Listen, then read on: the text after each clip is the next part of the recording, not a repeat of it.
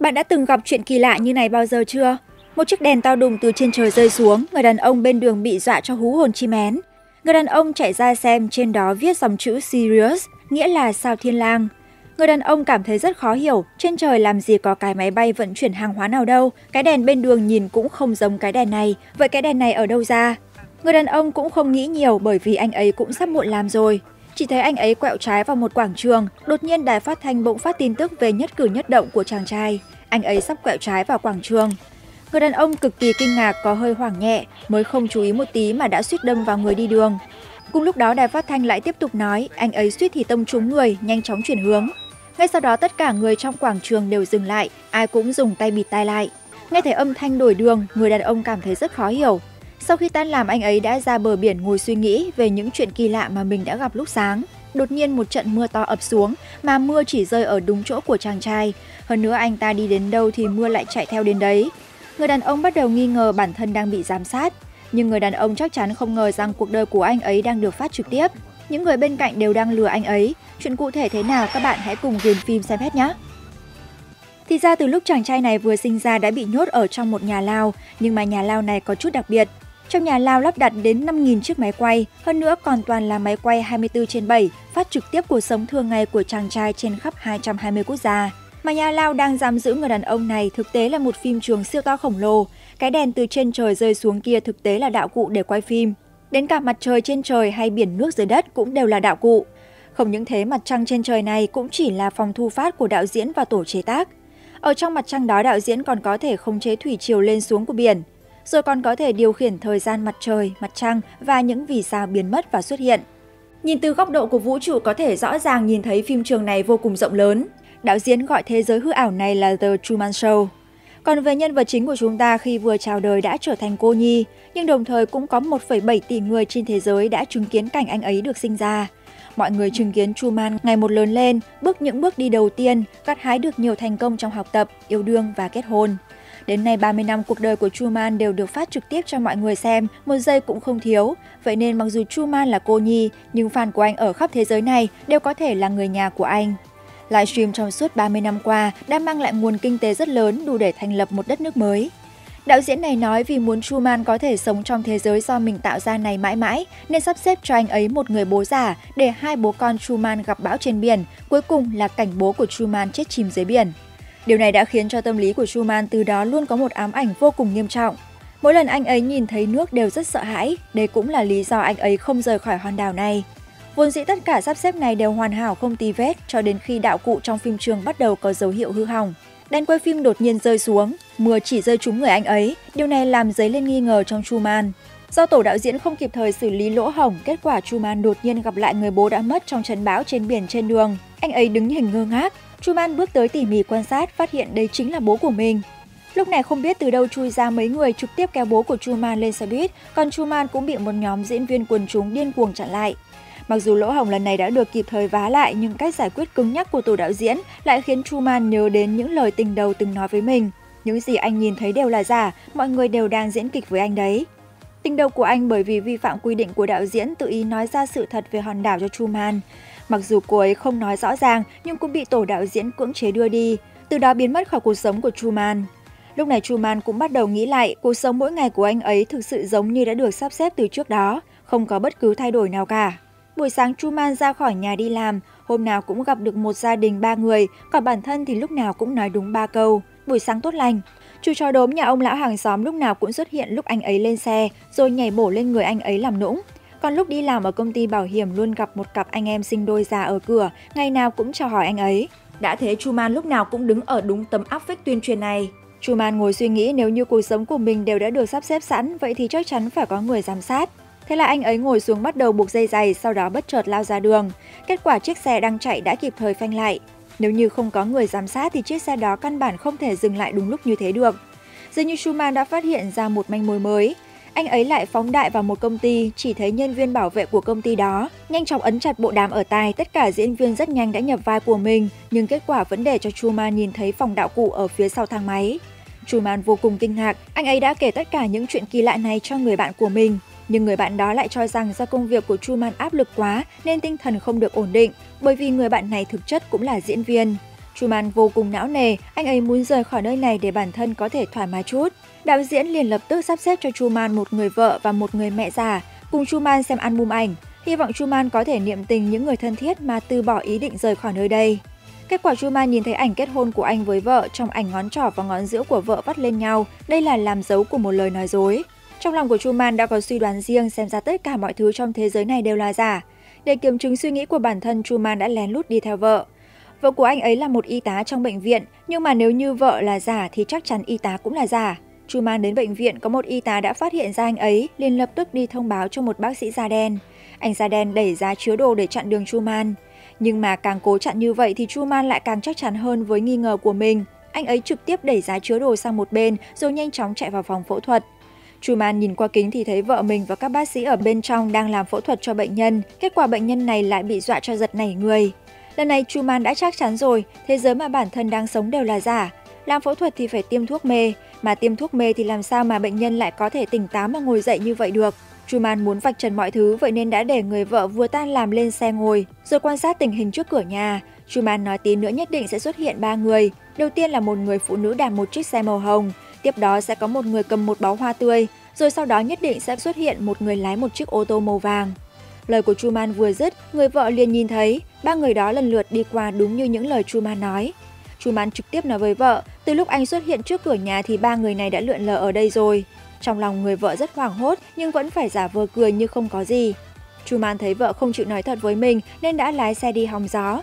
Chỉ thấy Truman lái xe đến đâu thì đường tắc đến đấy, bởi vì đạo diễn thấy Truman có hơi bất bình thường, sợ Truman sẽ rời khỏi nơi này. Vậy nên Truman đã nảy ra một ý tưởng, anh ấy đi vào một con đường mà bình thường anh ấy sẽ không bao giờ đi, một con đường nhỏ kỳ lạ. Sau đó hai vợ chồng họ đến một chiếc cầu. Bởi vì Truman sợ nước nên đã nhắm chặt mắt rồi để cho vợ lái xe. Xe chạy xiên xiên vẹo vẹo rồi trực tiếp chạy vào một tuyến đường cao tốc. Truman tưởng rằng mình cuối cùng cũng đã rời khỏi thế giới này rồi, không ngờ ngay sau đó đường đi bỗng xuất hiện một bức tường lửa. Truman không hề do dự phóng xe qua. Tiếp đó anh lại bị cảnh sát chặn đường. Cảnh sát nói nơi này có khí hạt nhân đang bị dò, yêu cầu Truman quay về bằng đường cũ. Truman cảm ơn cảnh sát, không ngờ cảnh sát lại nói, không có gì đâu Truman, đây là điều chúng tôi nên làm. Truman đứng hình mất 5 giây, anh ấy đâu có quen cảnh sát, sao cảnh sát lại biết tên của anh ấy được? Truman cảm thấy rất sợ hãi, anh ấy muốn rời khỏi đây. Anh ấy chạy một mạch vào rừng, kết quả lại bị cảnh sát mặc áo bảo hộ trực tiếp ấn xuống đất rồi đưa về nhà. Chu Man thực sự không hiểu tại sao tất cả mọi người trong thế giới này đều ngăn cản anh ấy. Đúng lúc đó người vợ đột nhiên cầm một hộp bột ca cao lên rồi bắt đầu quảng cáo cho sản phẩm. Chu Man sợ muốn bay màu. Này, em đang làm gì đấy? Em đang nói chuyện với ai vậy? Người vợ lúc này cũng không biết phải làm sao bởi vì bộ đàm trong tai cô ấy vừa truyền đến một thông tin bắt buộc phải thêm một đoạn quảng cáo vào khúc này.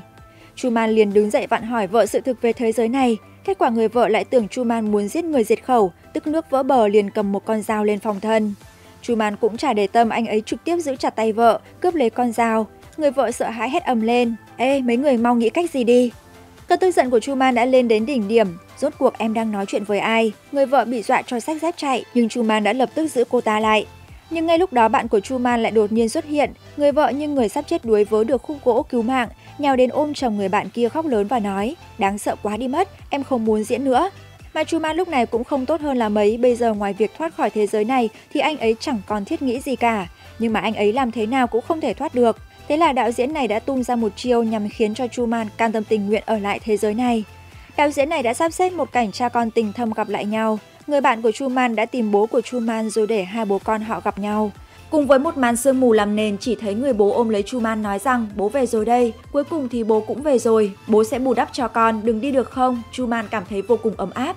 Cùng lúc đó một đoạn piano được đưa vào để làm nhạc nền đã lấy được nước mắt của nhiều khán giả. Truman cũng từ bỏ ý định rời khỏi nơi đây, trở lại sống những ngày tháng trước kia.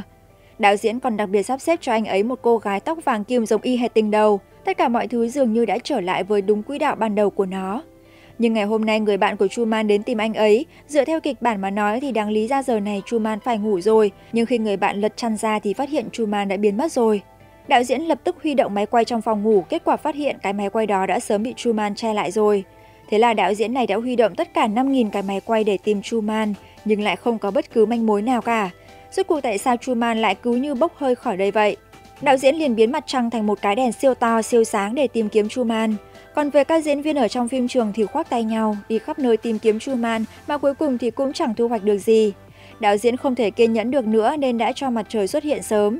Ngay lập tức màn đêm đen như mực đã biến thành ban ngày. Ông ta yêu cầu các diễn viên đứng yên không được cử động nhưng vẫn không tìm được Truman. Đột nhiên đạo diễn này chợt nhớ ra ông ta đã bỏ sót một nơi, đó chính là biển mà Truman sợ nhất. Thế là ông ta đã khởi động máy quay ở biển, cuối cùng cũng tìm được Truman. Nhân vật chính Truman của chúng ta đang lái một chiếc cano, đội một chiếc mũ thuyền trưởng. Anh ấy lấy ra một tấm hình cô gái giống tình đầu của mình được cắt ghép từ tạp chí, chuẩn bị dứt áo rời khỏi nơi này, đi tìm tình đầu của mình. Đạo diễn muốn cử người đuổi theo nhưng những diễn viên ở đó không có ai biết lái tàu, nhưng mà đâm lao thì phải theo lao thôi. Đạo diễn này vì muốn ngăn cản Truman rời khỏi nơi này nên đã khởi động mưa bão trên biển. Ngay lập tức Truman đã bị mưa bão tập kích, cano điên cuồng rung lắc. Truman sống chết bám lấy sợi dây ở cánh buồm, kết quả cột buồm bị sét đánh trúng, Truman cũng bị rơi xuống biển. Cùng lúc đó, 1,7 tỷ khán giả trên thế giới đều vì lo lắng cho sự sống chết của Truman mà đổ mồ hôi hột. Đạo diễn không chút mềm lòng, ông ta muốn để Truman biết rằng anh ấy không bao giờ có thể thoát khỏi lòng bàn tay của ông ta. Nhưng ý chí sinh tồn của Truman rất lớn, anh ấy lợi dụng sóng biển để đẩy mình đến bên thuyền. Sau đó anh ấy bám lấy cột buồm, từ từ bò lên cano. Đạo diễn tưởng rằng Truman sẽ không cố chấp vùng vẫy nữa, mà sẽ lập tức lái cano quay về. Kết quả Truman hét lớn một tiếng, ông còn trò gì thì đem ra nốt đi, tôi không sợ ông đâu. Lần này đạo diễn điên lên thật rồi, ông ta lập tức chỉnh mưa bão lên mức cao nhất. Ngay lập tức một cột sóng siêu to khổng lồ nổi lên tấn công Truman. Trong suốt 30 năm qua, đạo diễn sớm đã xem Truman như một món đồ của mình rồi. Vậy nên lúc này, đạo diễn nhất định sẽ không để thứ mà ông ta đã vất vả bồi dưỡng suốt 30 năm bị hủy được. Nhưng từng đợt sóng lớn nối tiếp nhau ập tới đã khiến Truman và cano chìm vào trong biển nước. Nước biển không ngừng chảy vào miệng anh ấy. Truman cũng dần dần không còn vùng vẫy nữa. Tất cả khán giả đang xem livestream đều lo lắng cho Truman đến đổ mồ hôi hột. Cuối cùng thì đạo diễn này cũng đã buông bỏ, ông ta cho dừng mưa bão rồi cho mặt trời xuất hiện. Mặc dù livestream trong suốt 30 năm vừa qua là một kiệt tác vĩ đại mà đạo diễn này luôn tự hào, nhưng cũng trong 30 năm này, ngày nào đạo diễn cũng quan sát Truman, ông sớm đã coi Truman là con trai của mình rồi. Giờ đây mọi thứ đã trở lại đúng với quỹ đạo của nó. Truman đi đến tận cùng của thế giới này, anh ấy đưa tay sờ, phát hiện ra tận cùng của thế giới này không ngờ lại là một bức tường. Cuối cùng Truman cũng tìm được con đường của sự tự do rồi. Anh ấy muốn nhanh chóng ra ngoài nên đã điên cuồng dùng thân mình đập vào tường. Truman đập liên tiếp mấy chục cái, nhưng bức tường vẫn chẳng hề hấn gì. Truman cực kỳ tuyệt vọng, lẽ nào bản thân không thể thoát khỏi cái thế giới giả dối đang giam cầm mình sao? Cũng cùng lúc đó, Truman nhìn thấy cách đó không xa có một cái thang cầu. Anh ấy men theo bức tường, bước lên thang cầu, phát hiện dòng chữ hãy nhập mật khẩu để ra ngoài. Truman thử đưa tay ấn lên đó, ngay lập tức cánh cửa đã được mở ra. Truman nóng lòng muốn ra ngoài, lúc này đạo diễn đã trực tiếp gọi Truman lại. Đây là lần đầu tiên cũng là lần cuối cùng hai người nói chuyện với nhau. Đạo diễn đã nói ra tất cả sự thật đồng thời nói với Truman rằng thế giới ngoài kia toàn là giả dối, lừa gạt. Nếu như ở đây anh có thể sống một cuộc sống đơn thuần, hạnh phúc, bởi vì nơi đây chính là thiên đường tự do mà ai cũng hướng đến. Truman quay người lại không tức giận, cũng không nghi hoặc mà chỉ nhìn thẳng vào máy quay cười nhẹ.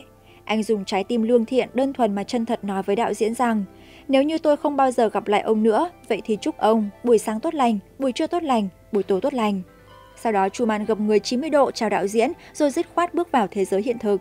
Thời khắc này khi tình đầu xem cảnh đó xong thì nhanh chóng mặc áo khoác ra ngoài tìm Truman. Khán giả đang theo dõi livestream thì đồng loạt chúc mừng Truman cuối cùng cũng có được tự do. Thực ra mỗi người chúng ta ngoài việc đang sống trong thế giới thực tại thì còn sống trong một thế giới khác giống như Truman ở trong bộ phim này nữa. Từ lúc sinh ra đến khi trưởng thành chúng ta đều sống trong một quỹ đạo đã được sắp đặt trước đó, đi học, đi làm, kết hôn, sinh con. Nếu như ai không tuân thủ theo các bước trong quỹ đạo đó thì những người xung quanh sẽ nhảy vào và bắt bạn phải quay đúng quỹ đạo. Vậy nên một khi bạn đã muốn thoát khỏi nó để theo đuổi ước mơ của bản thân thì bạn sẽ trở thành kẻ thù của cả thế giới. Mà ở trên con đường này sẽ có rất nhiều người chỉ trích bạn, nói bạn là một kẻ lập dị không giống người. Nói đầu óc bạn có vấn đề, toàn nghĩ đến những thứ viển vông xa vời. Và dần dần bạn sẽ bị những lời nói độc đoán vô căn cứ kia làm mất phương hướng, từ bỏ ước mơ của bản thân và cuối cùng sẽ trở thành một con cá muối không bao giờ có thể trở mình. Nhưng bạn không được quên rằng cuộc đời là của bạn, chẳng liên quan gì đến người khác. Mỗi người chúng ta chỉ có một lần để sống thôi. Nếu như không sống một cuộc sống giống như mình mong muốn, vậy thì bạn đến với thế giới này còn có ý nghĩa gì nữa? Bộ phim hôm nay đến đây là hết. Cảm ơn các bạn đã quan tâm theo dõi. Xin chào và hẹn gặp lại!